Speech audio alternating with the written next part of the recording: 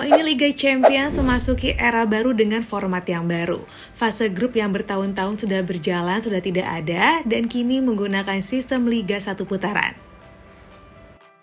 Di format yang baru ini, setiap tim akan menghadapi 8 lawan berbeda pada fase Liga, menjadikan jumlah laga bertambah dari 96 ke 144 pertandingan.